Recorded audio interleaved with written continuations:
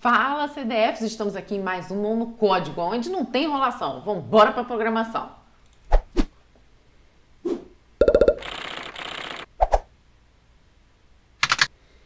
É isso mesmo, galera. Eu sou o Gabriel. E eu sou Vanessa. E, e nós estamos no. Não no código. Mas nós estamos aqui para pagar nossa promessa do último vídeo de mostrar o código deste nosso lindo quadrinho de comemoração dos nossos 100 mil inscritos, rolou um Inception de, de quadrinhos ali por causa da... reflexo. do reflexo. É isso mesmo, galera. A gente vai mostrar aqui rapidamente como é que a gente fez para desenvolver essa solução. É...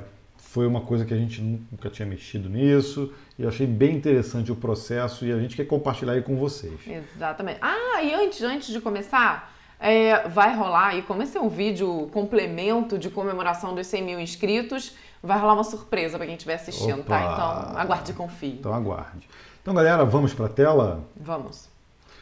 Então, pessoal, já, eu já, dessa vez, eu já criei aqui o, o projeto, ele já está disponível aqui nessa pastinha, tá? Vai estar lá no Git também. Vamos botar no Git, não, no Git já Não, tá. no GitHub. Isso, no GitHub, tá? E se eu, se eu for listar aqui, ele tem somente dois arquivos para o projeto, tá? Um ponto .ino, que eu chamei de My YouTube Frame, e o outro é o config.h. Né? Lembrando que esse projeto ele roda no ambiente Arduino. Mesmo utilizando o Node MCU, ele, ele roda na, na, no na mesmo ambiente do Arduino, não tem diferença nenhuma, tá? Então, Mas é, não utilizamos, Gabriel chegou a ver, eu confesso que não vi a plataforma do Arduino, né? Mas... Eu, eu cheguei até a instalar aqui na minha máquina, tudo, mas eu gosto de usar o VS Code. Nós temos um, um crush pelo VS é, Code. E aí fui é, verificar se tinha né, que a extensão para trabalhar com Arduino com VS Code e sim, tinha. tem. Então, tinha, ainda tem. Tinha, tinha, não é? Tinha, não, ainda tem. tem. Tá lá, gente. A gente não excluiu, não, né? É, isso aí. Então, pessoal, olha só. É, rapidamente vou explicar aqui é, eu instalei essa extensão aqui, que é o Platform I.O. Deixa eu abrir aqui. Vai, não vai? Vai. A gente não quer ir, coitado. Aqui, esse cara aqui. Esse carinha aqui que eu instalei, é, tem uma opção lá de você criar conta. É, ele eu... parece um bichinho de sete cabeças, mas não é não. O legal dele é que ele controla aí as, as bibliotecas. Isso.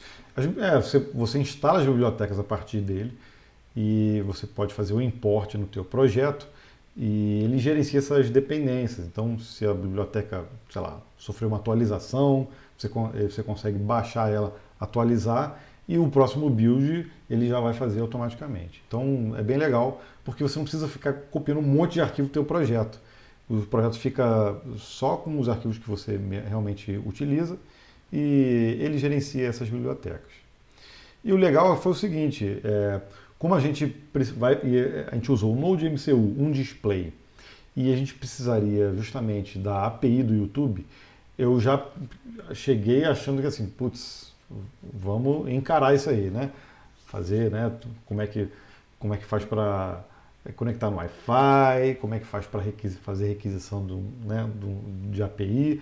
Só que eu fui pesquisar por acaso aqui e já encontrei já a solução de acesso à API do YouTube pronta. Então já existe aqui ó, uma biblioteca pronta e, cara, foi praticamente essa, essa biblioteca que eu usei para fazer todo, todo o código.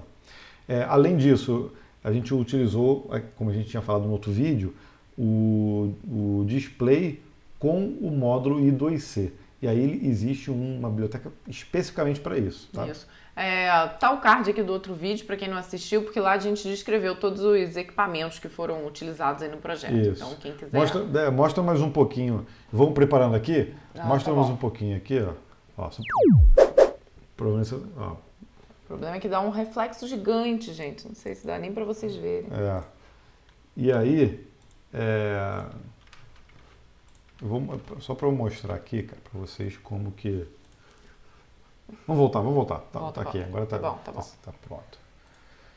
Eu não sei se a gente já falou, ela está conectada direto no computador pelo USB, tá? E já está conectada no poder fazer USB. a Ah. É, e aí, na, justamente na plataforma I.O., a gente consegue comunicação com a porta serial. É, a gente vai mostrar isso aqui. Então, ó, o projeto é esse, tá? São esses dois arquivos. Eu usei aqui um git ignore, tem aqui uma configuração do próprio plataforma I.O., mas ignora isso. O, o core da parada é isso aqui, ó, são esses dois arquivos.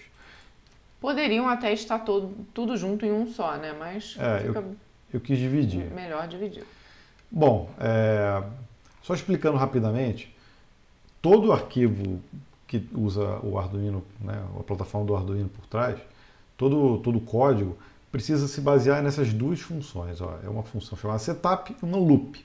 A setup é quando você liga o dispositivo e a loop é a que fica rodando continuamente depois que ele inicializa.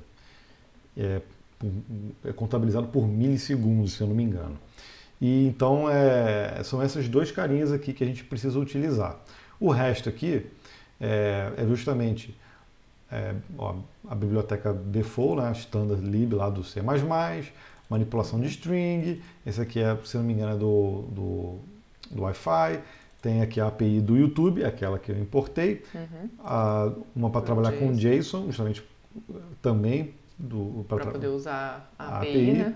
é, o do Cristal, o do Node MCU, o do Wi-Fi e o meu config.h, que é esse carinha que está aqui. Assim, ah, mas como é que eu vou saber todas as bibliotecas? Ó, vou te falar, eu nem eu sabia. Tá? Como, é que eu, como é que eu descobri? O próprio, o próprio Platform I.O. aqui, ó, quando você vai instalar as suas bibliotecas, ele fica aqui nessa aba aqui instalada, né, como mostrei. E aí você pode pesquisar, instalar outras, atualizar elas, tudo. E aí esse cara aqui, quando eu cliquei nele, eu falei assim, pô, será que tem alguns exemplos de utilização? E tinha. Tinha. Então, esse carinha aqui, ó, já tem alguns exemplos prontos aqui, ó. Tá vendo? Esse primeiro, esse primeirão aqui foi o que eu usei. Valeu, Brian. Ó, o Brian. Obrigado, hein, cara. Grande contribuição para a nossa placa. Isso. E é justamente isso, ó. Ele já tinha aqui o código do para se conectar com Wi-Fi é, e ó, o setup, tá vendo, dele, e o loop. E foi basicamente isso que eu utilizei com algumas mudanças. É, ele já se conecta no Wi-Fi e aqui dentro do looping ele faz um controle né, e faz as chamadas na API e já retorna o objeto já com uh, a informação que a gente precisa. Então, lá no, no meu código, é, foi basicamente isso que eu usei, é, com o extra aqui do objeto do display, o restante é muito parecido, tá?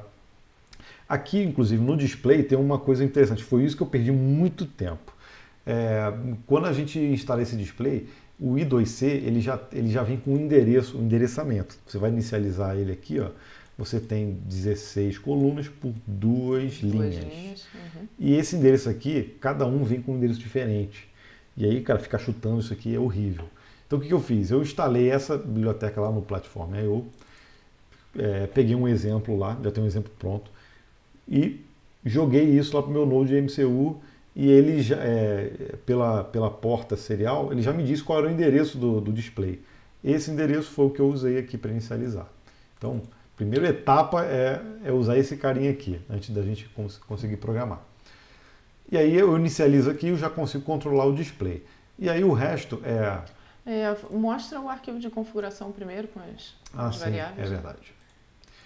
É, aí é o que eu fiz. Eu, eu, eu, eu, separei esse código e coloquei alguns arquivos de, um arquivo de configuração, que é justamente para controlar o nome do Wi-Fi, a senha, a, a chave da API do YouTube, que é, que é, é necessária, vale, né? Vale, vale uma. Não, pode, pode continuar, desculpa. É, é, o ID do canal do YouTube eu botei aqui no display para mostrar um, um apelidozinho, um nome curto do canal e aqui um controlador de versão para mostrar no display também, que eu, achei, que eu acho que é interessante. É, para você gerar essa API do YouTube, a, a chave, né, a, o token, tem aqui já um, uma URL. Esse código está cheio de comentário, tá? É, depois vocês detonam isso aí, vai estar no GitHub. Isso é justamente para ajudar, facilitar, um, né? facilitar um pouquinho a vida de vocês. Tem como você identificar o ID do canal, não é o nome, tá? É o ID. Por aqui também ó, tem um, um, um tutorialzinho aqui, mas eu descobri uma forma mais prática de fazer isso, simplesmente fazendo isso aqui. Ó. Você entra no canal, Vai famoso com Ctrl U. Ctrl U, abre o código fonte dele e, e busca por Canonical. Pronto, aí tá aqui, ó. Esse carinha aqui, esse último URL aqui, é o, esse último parâmetro aqui da URL é o, o endereço do seu canal. Você copia isso aí, cola no seu código e tá feito. Né? Resolvido o problema. O problema está resolvido. e aí aqui no, no, no, no setup, né, quando a gente liga o dispositivo, a gente inicializa esse carinha aqui, que é o serial, é a porta serial onde está ligada o, o, o, Node. E aí, você, e aí e por que, que, eu, que a gente está fazendo isso? Porque a gente vai utilizar esse cara para debugar dentro da, da, da, nossa IDE. E aí eu já, até já dividi aqui as etapas. Primeira, é, inicializar o display. E aí eu mando o display dar uma piscadinha, ele tem um delayzinho aqui, ele fica piscando um pouquinho. E aí quando você liga, você sabe que ele está nesse processo. É, mando imprimir na tela o, o nome curto, aquele que está lá no config.h, e a versão. E depois me, é o processo de me conectar no Wi-Fi. Isso tudo aqui é daquele exemplo lá que eu mostrei para vocês. E aí eu, eu, eu vou imprimindo algumas coisas na porta serial e, cara, tá, tá feito. Funcionando. É, lembrando que ali o, quando ele faz o, o print line no serial, é justamente para poder ver no debug também. Depois a gente vai mostrar. Isso, é isso aí. É, e aqui a, o loop, que é justamente esse, que é o, o carinha que mostra, vai mostrando na tela. Aqui a única coisa que eu fiz um pouquinho diferente lá do exemplo original, ele, ele tem esse controlador aqui, né? Que controla quantos milissegundos o, o dispositivo já está ligado. E eu tenho aqui a última vez em, em que ele entrou nesse loop. Eu armazeno aqui, tá vendo? Ó? Mais os 20 segundos, que são as, as variáveis que eu fiz aqui para controlar o tempo.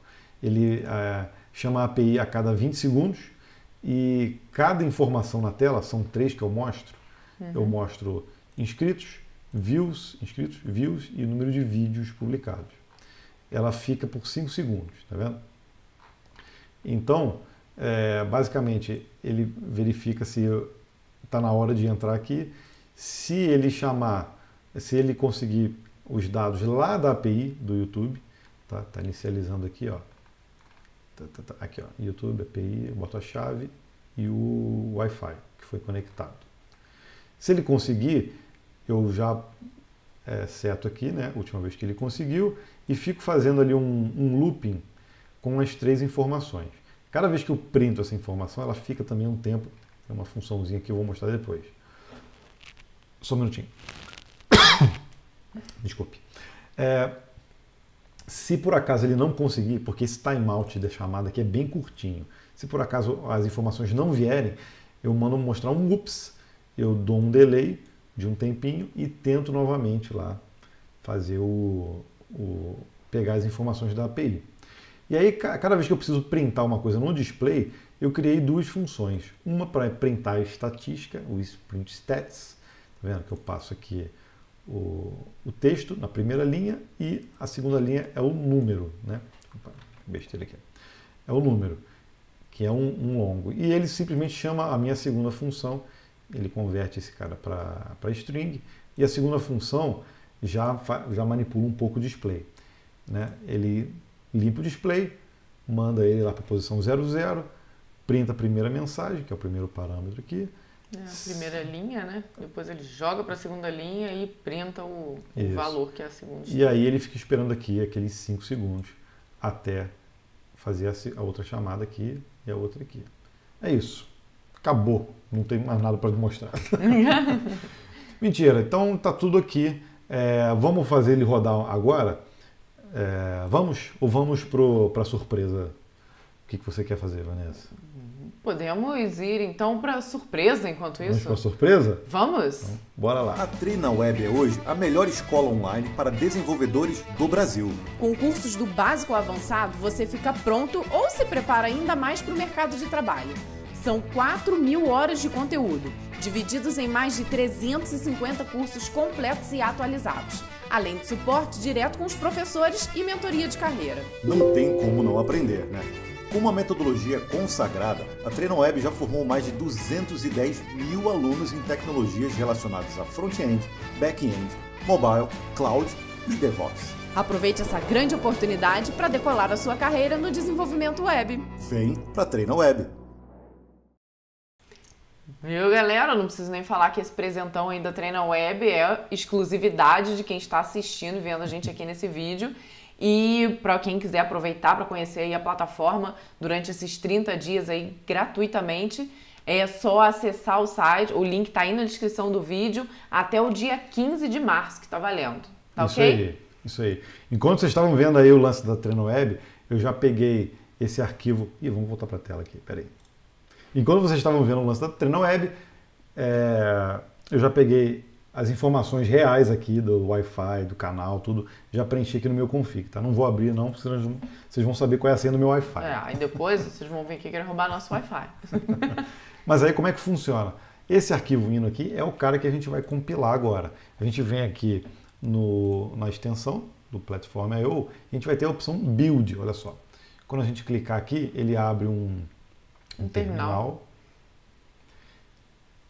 E aí ele checa todas as dependências, né, junta os arquivos, tudo e, olha lá, já compilou. Então tá tudo ok. E aí, olha que legal, eu posso abrir aqui, ó, o, a porta serial. Olha só, já está já tá aberta aqui, tá vendo? Ele vai se comunicar lá com o display. E aí eu vou subir é, Fazer a transferência do programinha lá para a placa, né? Exatamente, ele vai copiar. Olha, já detectou aqui ó, a COM3. Aí ele vai abrindo um monte de, de cara aqui.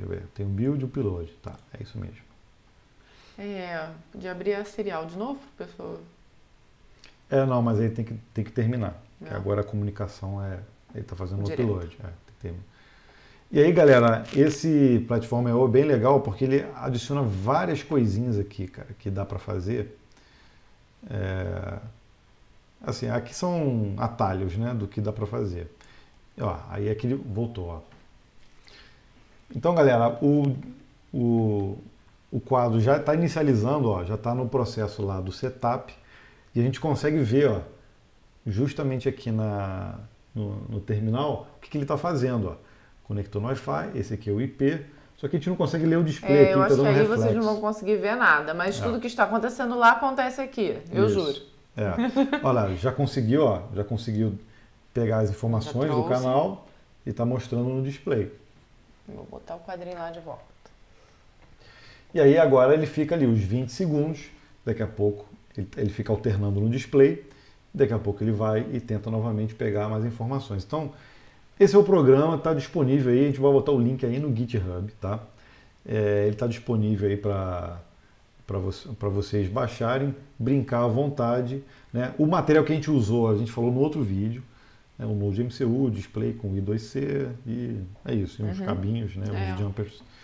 Então, galera, esse foi a nossa, foi o mão de código de hoje. Espero, espero que vocês tenham gostado. Exato, mais uma vez, muito obrigada aí pela marca que nós alcançamos, graças a vocês que são inscritos no canal. Isso. E aí, se você ainda não é inscrito, por favor, inscreva-se. Para o Gabriel conseguir realizar o. Inscreva-se. O Gabriel conseguir realizar o sonho dele de estourar o display. Com 16 caracteres vai ser bem Isso, a difícil. gente vai passar muitos, vai bem muitos youtubers grandes aí. É. Então é isso, galera. Espero que vocês tenham gostado. Deixe o seu like, deixe o seu comentário. Essa foi a nossa primeira experiência com, com eletrônica e, esse, e com equipamentos de IoT. A gente vai fazer outros. Eu vou comprar sensor, eu vou comprar várias outras coisas. Gostei muito de usar isso. Exatamente. Então, existem muitos planos para outros dispositivos e outros vídeos explicando os dispositivos. Não, vou fazer com certeza. Espero que vocês tenham gostado e até um próximo vídeo. Próxima, gente, e não esquece, o link da Treina Web tá aí debaixo na descrição, viu? Aproveita Isso. lá. Valeu, galera. Tchau, tchau. Tchau, tchau. Bom, ele tá aqui ainda, ó. Tá chamando. Cara, alguém se inscreveu. Uou, Gente, são em pleno carnaval. Terça-feira de carnaval, meia-noite e 47. Um beijo pra essa pessoa. É. Quem, quem que tá acordando essa hora? Não sei, Quase gente. uma hora da manhã Eu já. tô quase dormindo aqui, olha que eu tô gravando. Meu Deus. Parabéns, parabéns para você. Obrigada, gente. Não, parabéns para ele. Pra se ele, inscreveu. sim. A gente não, a gente está aqui já. Fazer o quê? Vamos dormir.